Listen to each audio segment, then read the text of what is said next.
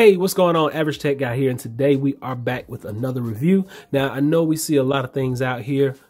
Try to disregard some of this stuff for right now. We're going to get to that in another video later on. I just got it out here because I was testing this stuff out. This is my iPad Pro 10.5, not the 11 that I normally have. 10.5, you got the button right here. You see that? You have your lightning adapter right down here. 10.5. So this is the Pro. Pencil is right here. You notice this is first generation pencil. It is working. Uh, right here on the screen, we got our cursor. We got mouse support.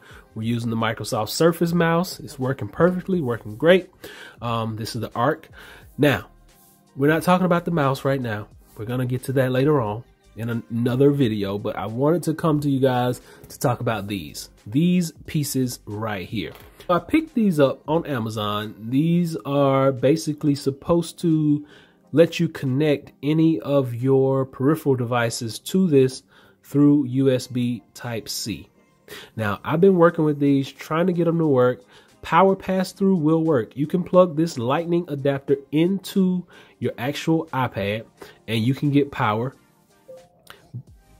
But you cannot plug this in and make it work with your USB Type C hubs. I've tried all three that I have. Actually, I've tried five. I have more than that. I just have three of them laying out on the table.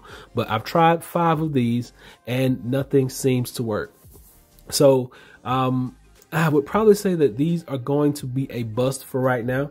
They're by the company. They really don't have a name. It just looks like letters. It's AODSC. Um, but they claim that these will do power pass through, they will charge. They also claim that they will transfer data. Now, the charging portion is correct. They will charge your device. I have had no problem with that.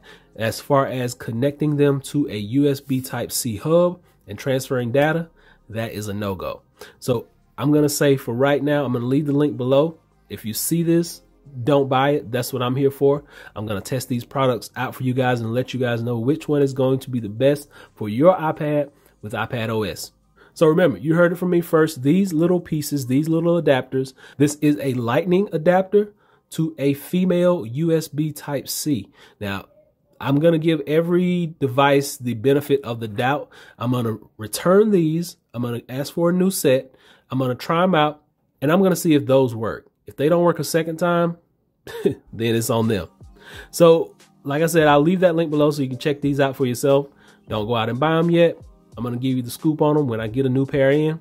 So hopefully this is able to help someone out. But in the meantime, I am ordering tons of new devices, guys, tons of new th things for the iPad Pro 10.5 so that we can get the most out of this device or any device that's going to be running iPad OS for a lightning adapter.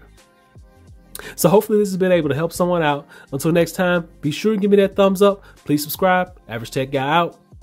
Peace.